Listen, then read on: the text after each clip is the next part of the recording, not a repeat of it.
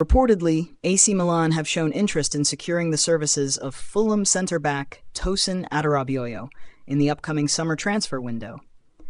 Adarabioyo finds himself in a precarious position at Craven Cottage as his contract is poised to expire at the season's end. Fulham is eager to keep Adarabioyo and is prepared to present a tempting contract to encourage him to remain in West London.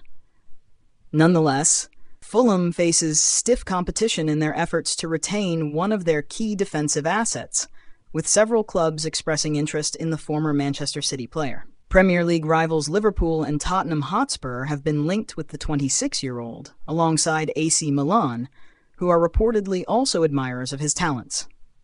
Adarabioyo has been a regular starter for Fulham, featuring in 14 of their last 16 Premier League matches, including the last five consecutive top flight outings.